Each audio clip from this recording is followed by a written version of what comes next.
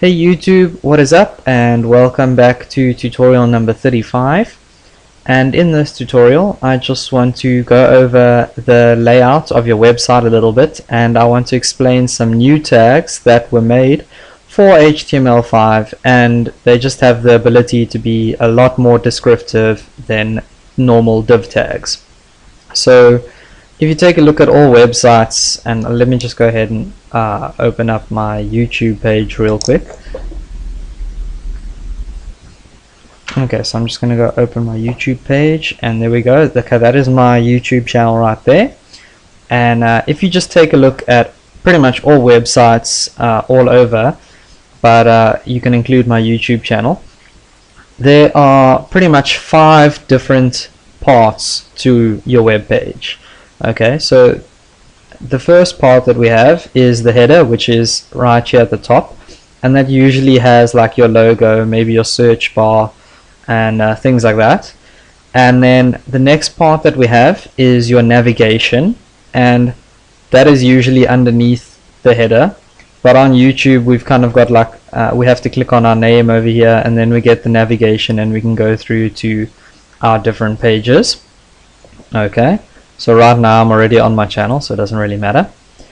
And then uh, as you can see, I've actually got 297 subscribers and pretty much almost 20,000 views, which is quite exciting. and then uh, on the side, we have sidebars. So we've got, um, this is pretty much all the people I'm subscribed to and uh, all that kind of stuff. And then we've also got a sidebar here.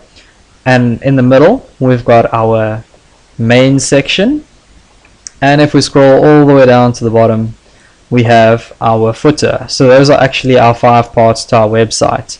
The header the nav the okay so let me just go. The header the nav the sidebar the main section and the footer. Because some websites only have one sidebar they don't have two like YouTube.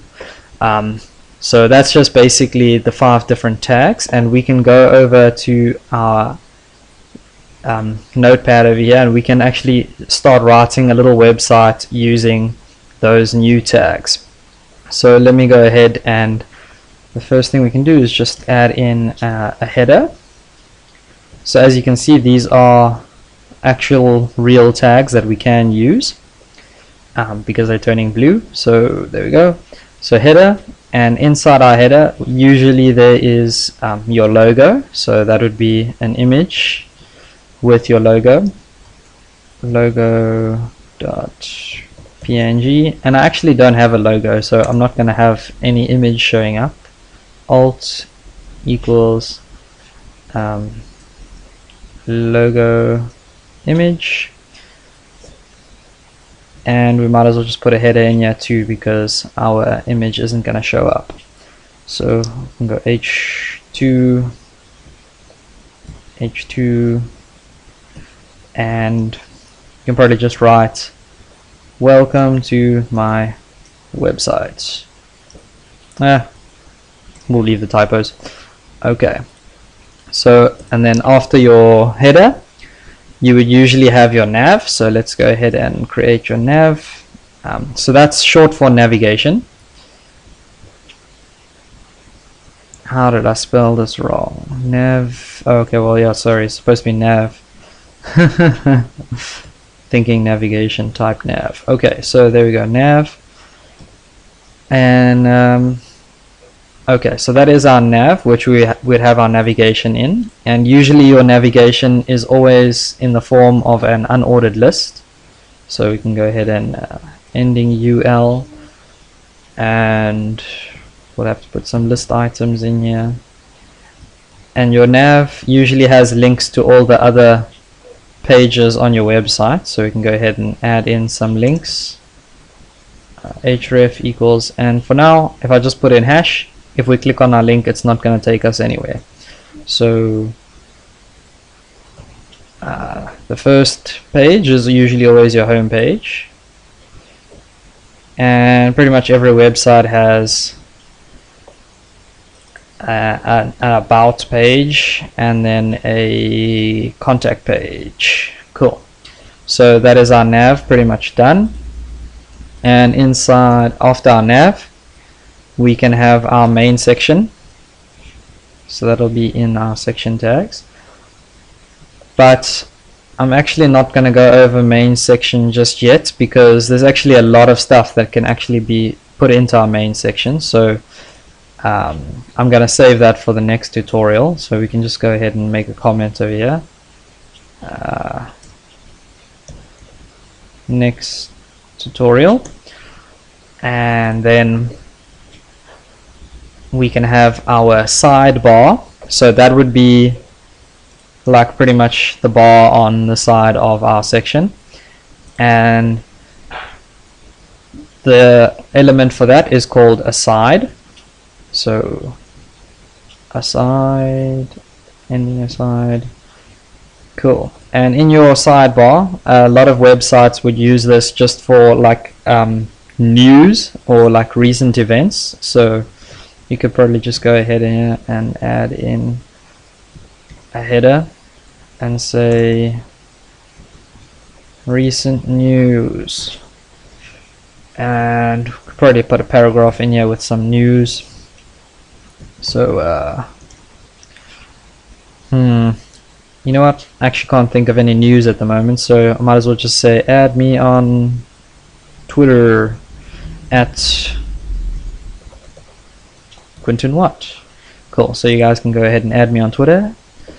And uh, after that we'll have our footer. So you know our footer is the basically the last part of the website all the way down over here. And that usually uh, contains links to all sorts of things but in some websites you'll see when they don't have as many pages as YouTube does they just have a copyright in their footer. So let's just go ahead and add in our footer and uh, ending footer. And inside the footer we usually have like um, a copyright. So to make the copyright symbol you go and copy. And uh, that makes the copyright symbol and you can just say wow copyright uh, quentinwatt.com I guess okay so we can go ahead and save this. And we can actually go ahead and run this in Firefox now. So uh, run in Firefox. And there we go. We actually have like a little mini web page. Um, so you can see my logo doesn't show up because I don't have one yet. And then there's the title to my web page which is all actually inside our header as you saw in that code. So that's our header. And Underneath that we had our navigation which was links to other pages on our website which are actually fake because they're not on our website. And then we had our sidebar and uh, as you can see our sidebar is now not on the side it's actually underneath everything. And then we've got our footer lost at the bottom over there. Okay so these new elements don't actually change anything on the layout of our website just yet. We actually still have to use style rules to change the layout. Those these new elements are actually just there to be more descriptive than an a uh, a div tag. So old websites before HTML5 used to have to use a div tag for every single one of these sections and it kind of got a little bit confusing because you were sitting there like okay well this is a div and this is a div and this is a div but what do they all do so now you've at least got more descriptive um, tags that you can use uh, for your website. So that's pretty much all I have for you guys in this tutorial and uh, we'll pretty much move on with this code in the next tutorial and I'll explain um, what to do in this section and then we'll start styling the website a little bit later. So that's pretty much what you guys have got to get excited for and uh, thank you very much for watching and I will see you guys next next time. Don't forget to subscribe. Please feel free to leave a comment and if you found this video helpful then please go ahead and click like because it's really going to help my channel grow. So thank you very much and I'll see you guys next time.